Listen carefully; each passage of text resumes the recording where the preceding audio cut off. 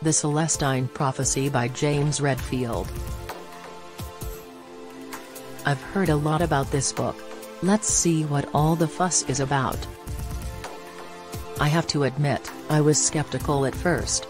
But as I read on, I found myself drawn in by the book's compelling ideas and spiritual teachings.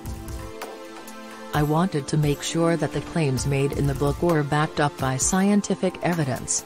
And to my surprise, many of them were. Overall, I would say that the Celestine Prophecy is a thought-provoking and well-written book that offers a unique perspective on spirituality and personal growth. But don't just take my word for it. Pick up a copy and decide for yourself.